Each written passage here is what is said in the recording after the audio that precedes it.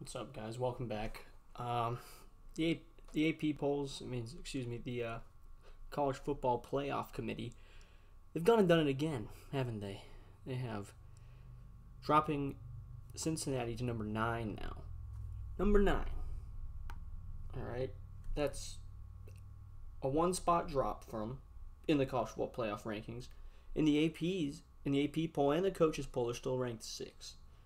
So basically, the college football playoff committee has just been like, we, we literally don't care what you do, you're not getting in. You're you're just not. In other news, though, we have uh, whoa. Did you guys see that? It's almost like that uh, LSU Gator game, huh? Where a three-win LSU team beats one of the top ten teams, a team that now has two losses, keep in mind, yet the committee has only dropped them one spot. One. So the Florida Gators, who just lost to a team who lost to Missouri, is now only one spot lower than they were. This is incredible. I don't know what this committee is doing. They're literally just forcing a narrative that doesn't want that no one wants to happen. Nobody wants Ohio State in like literally any other team besides Ohio State. They've played five games. Is that enough? Alabama has played twice as many as that, and they're gonna play each other in the college football playoff. Doesn't make sense. They dropped the Gators a single spot because they lost to LSU. Meanwhile, you have a team like Miami who loses to a top 25 team, keep in mind, and they are dropped eight. Eight spots. After losing to a team that has three losses, yes, okay, but at least they have eight wins. Eight. Of course, one of those losses did come to FSU. Quite sad that, uh, you know, you lose to a team like FSU. They are pretty bad, aren't they? Um, but yeah, it, the the committee has just taken any team that's not in a Power Five conference, and they've just said, no, you're not going to make the playoff. You are literally and utterly out. No matter what you do, you are not going to get in, and we don't really care because they. You would think that the committee. This is like a year like this when there's any team has a chance. Basically, it's been a terrible year. There are not that many good teams. There are not even that many good players with all the opt outs and COVID list and all that stuff. Okay, so they literally just said, no matter what you do, Cincinnati, Coastal Carolina, all these teams, like they just said, no, you're not going to get in honestly, you could see if USC beats Oregon in the Pac-12 championship game, Oregon could like skyrocket to sixth, especially if Iowa State loses. Speaking of which, Iowa State is now ranked sixth in the in the college football playoff rankings. Sixth, a two-loss team. It doesn't make any sense. Like literally, if Oklahoma beats Iowa State, they have a pretty high shot of making it into the college football playoff, especially if Ohio State loses. It it's almost criminal what they're doing. And you think back to like say the BCS, right? It wasn't the most perfect system. Like it's one system that operates on a computer, plays out 4 trillion different scenarios of what could happen.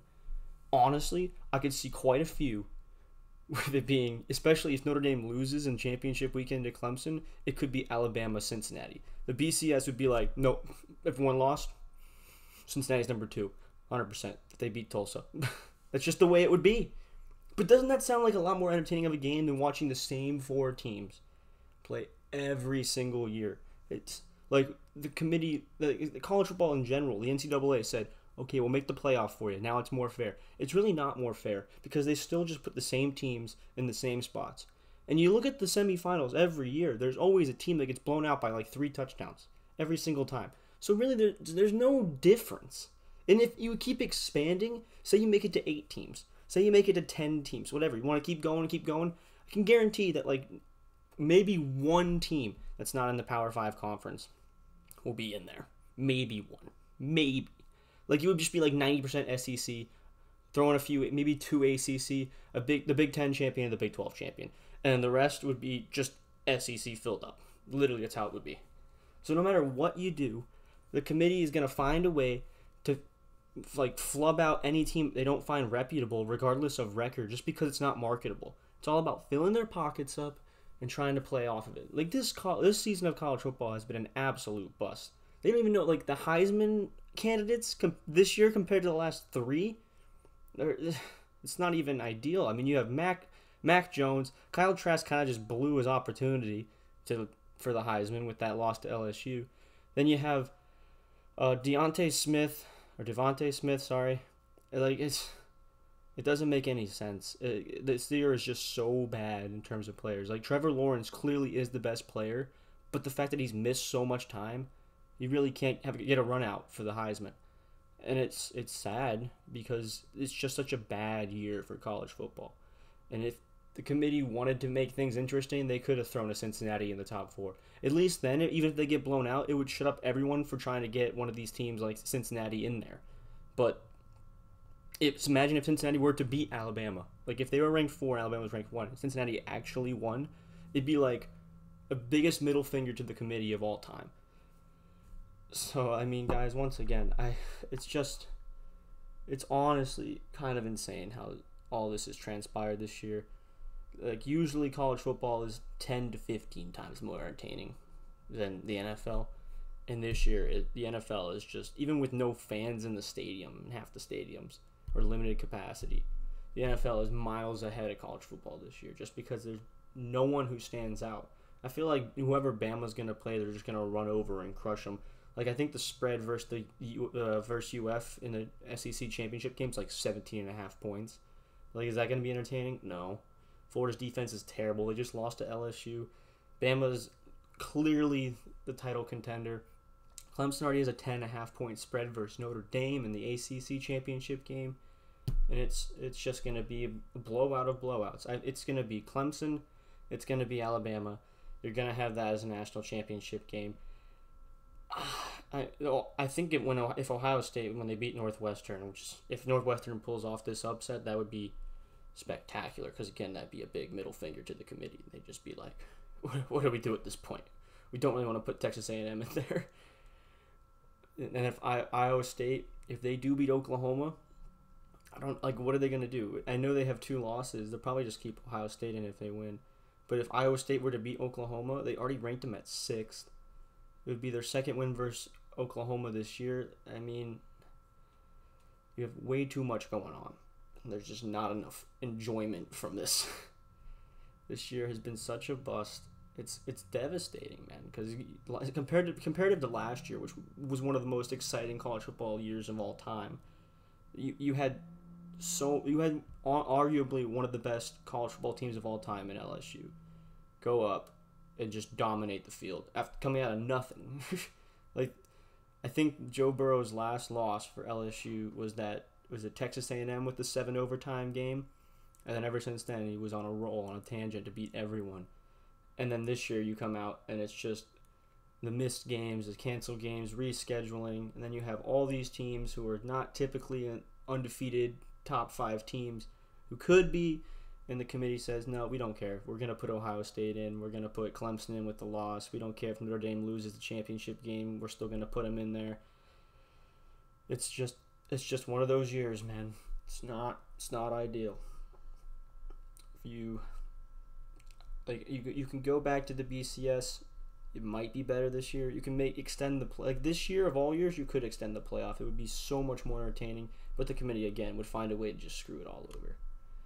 So what what is the trajectory for college football? What are they going to do? Well, after this year, you look at all the programs, they don't have a lot of money. They're not making the revenue they normally make. Recruiting classes just came out, and Bama's number one. Auburn, who just fired Gus Malzahn, he had the four like Auburn themselves. They had the 40th overall ranked class. To put that in perspective, Rutgers is 41, FSU is 31. I think Mississippi State is like 36 somewhere around there.